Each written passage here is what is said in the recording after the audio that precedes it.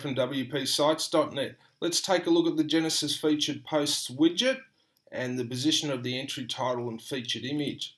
So we go to the demo site here and here's the default. The image displays first and then the entry title. Now if you want to move that around and put the entry title first and then the image, you're going to have to take the code out of Genesis, copy it to your child theme and then modify it. And there's a lot of code involved and you need to understand how to modify it. Now, I've linked to the code here, so you can do that here.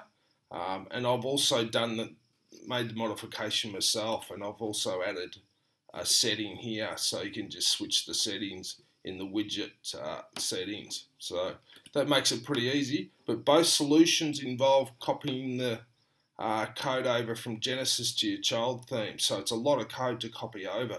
Now there's there's a third solution and it involves a very small amount of code which you can add to your child themes functions file. No need to copy the widget over and modify it in your child theme. And when we refresh the page, this is what it does. It adds the image after the title. Now, you'll need to remove the default. So to do that, you can use CSS or you can just go to your widget settings and deselect show featured image. Okay, so that makes it pretty simple. It's a better solution.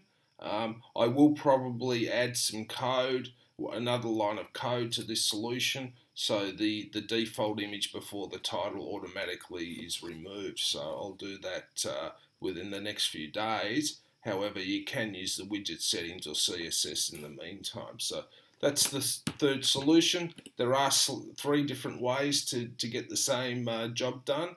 And uh, I've listed them all here on WPSites.net. Thanks for watching. See you next time. Cheers.